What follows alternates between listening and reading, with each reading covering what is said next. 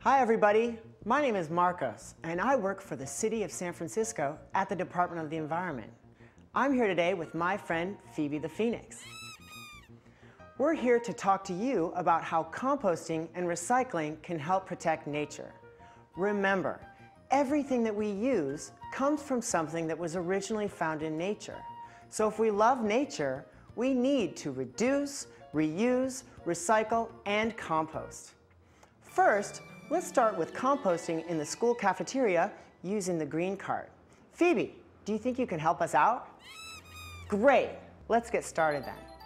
The first thing to remember is that all food scraps can go into the green cart. Think of it as worm food. If a worm can eat it, it can go in the green cart. Worms eat things like banana peels, leftover sandwiches, even cookies. Worms can also eat our leftover lunches like this. Go ahead and dump out your lunch.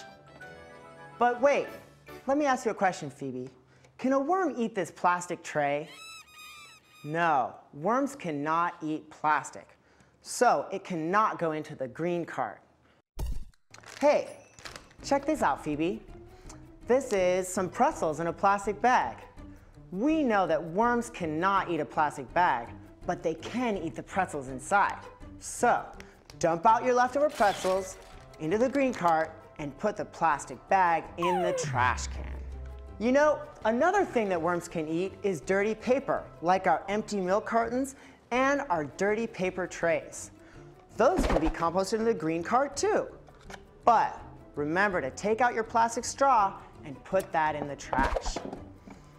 Worms can eat all kinds of dirty paper, like greasy pizza boxes, wax paper, paper coffee cups, and paper plates even dirty napkins. Let's talk about recycling for a moment. Phoebe, can a worm eat an aluminum can? No, worms cannot eat an aluminum can. But we can recycle all metal cans in the blue recycling cart. We can recycle aluminum foil too. And here in San Francisco, we can recycle all types of plastic bottles in the blue cart. Plastic water bottles, milk jugs, and juice bottles go in the blue recycling cart. We can also recycle plastic containers like these. Finally, we can recycle all glass bottles and jars too. Hey, Phoebe!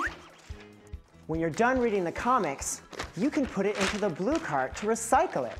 We can recycle all clean paper here in San Francisco.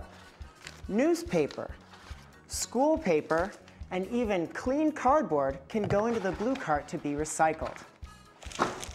When we recycle paper, it helps protect trees and forests where most of the world's animals live. And I know how much you love animals, Phoebe. What about this stuff? This stuff is trash, and it has to go into the black trash can. Great. Now let's review. All food scraps and dirty paper, like milk cartons and napkins, go into the green cart. All bottles, glass jars, and plastic containers go into the blue cart.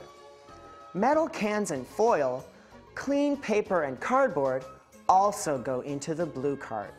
And the rest, it goes into the black cart. Well, Phoebe, I think that's it for now. Hey, do you think that this will help students to remember how to compost and recycle? I agree. Thanks for your help today. You did a great job. And remember, you have the power to protect nature when you compost and recycle. Thanks for your help today, everyone. See you later.